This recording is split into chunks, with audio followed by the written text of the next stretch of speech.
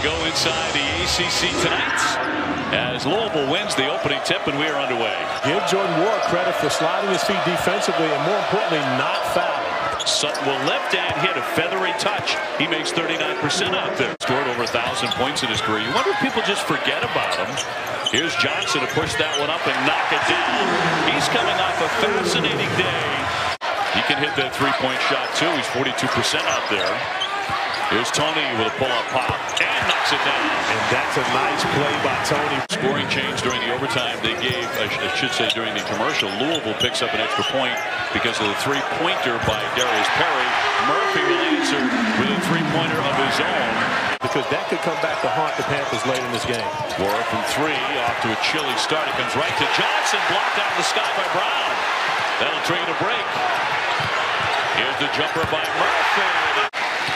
Very frisky Pitt Panther team here early on. And where Pitt has struggled at times. Uh-oh. Champagnie with a fall away. From Trey McGowens, but Champagnie gathering it, then going one foot. Trying to pick up their 14th win of the season.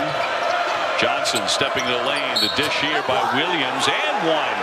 He'll be at the line. David Johnson with the response. The find to Malik Williams was able to finish through the contact.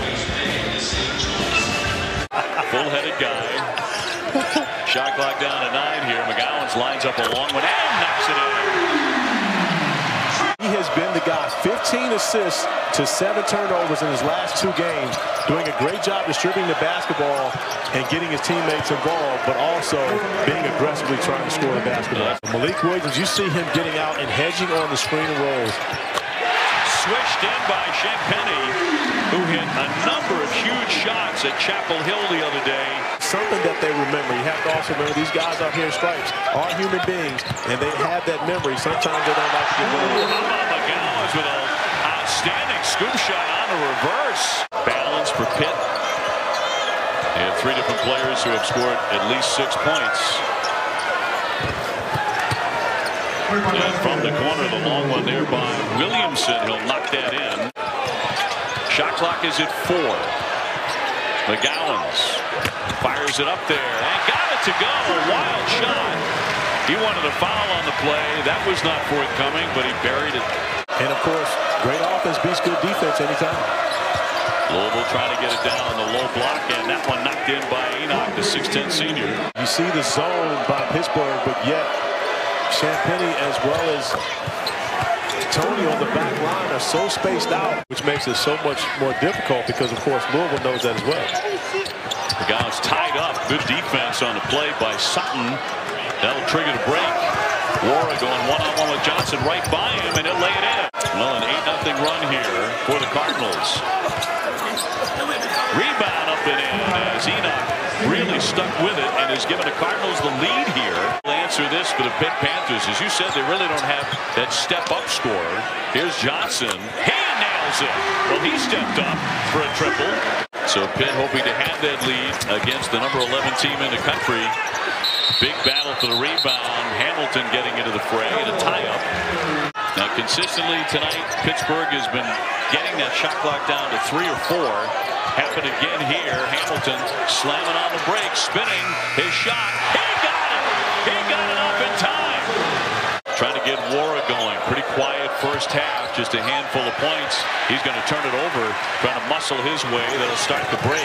Toney runs it beautifully. And the basket by Eric Hamilton. To give the Panthers a three-point lead, and they have decided they are going to give him their opportunities on the block to be able to play against Enoch as Fresh Kimble. Wild looking shot, and as you say, very fast. No, and a floater. That's the worst part about it. Nwora lines it up and drills it. Boy, that really makes him pay. It does, and that's where Jordan Nwora is so special. And of course, off of turnovers and bad shots, which all floaters are bad shots, you get out of transition. Here's Toney. Long distance and a three-pointer. He certainly played like the preseason All-American that he was selected as. That jumper knocked down by Brown. About getting into the cylinder, he did not want his guys getting that close. He wanted to give him a step. Of course, you've got to beware of the shooter, especially that guy, Jordan. Shot clock to 10. Rolling war blocked by Champagnie.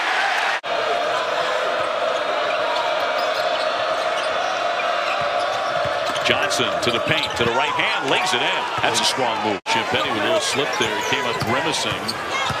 McGowan spinning. Off the window for two. Acrobatic shot.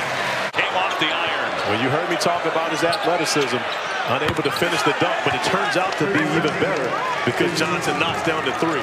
Crazy. Steven Enoch, six foot ten, extremely athletic, goes up against Justin Champagnie at six foot six. You got to dunk that because when you don't, it turns out to be a bucket on the other end of the floor. The zoo being heard loud and clear. That one poked away, but not far enough. Nwora will launch it and hit it. And that was a fortunate play from War, but you don't allow guys to be able to play basketball. That's part of the game. McMahon, yes, a three-pointer. Tonight, David Johnson, especially here in the second half, has been the guy getting his number called and playing very well. Gowans finds himself wide open and he rattles in a two-pointer. McMahon just drained a three. The drive and kick and Enoch with the stop. But that's the zone once again for the Panthers. An opportunity to knock off a number 11 opponent. The swing for the corner, and that's swished in by Sutton. They needed that shot, Panthers. Johnson launches. Rebound tipped out. They'll get another opportunity. They're going to fire right away. Backed in by McGowans. Off the glass. Thank you very much. Oh, yes! One of the few times tonight they didn't wait. Blocked out of the sky by Brown, but right back up and in.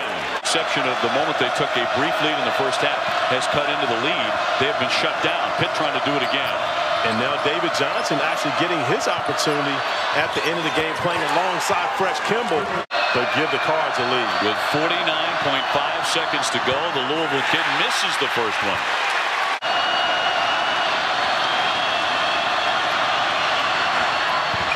And he rattles in the second one, 61-61. Thought about it from about 27 feet. And he thought better of it. Now you've got the five that we talked about with McGowens making the play. His three. High off the window. It's tipped. Two centers, which are rare in even college basketball nowadays, that you can play and trust, especially at crunch time. Johnson shredding the dean. He'll lay it in. Xavier Johnson. Eight to get off the shot. McGowens pull-up pop. And it's in. And kissed the backboard. He's done that more than once tonight. Kimble with a kick. And Sutton drains a huge shot from the corner. He's in dire need of a bucket. Down by five.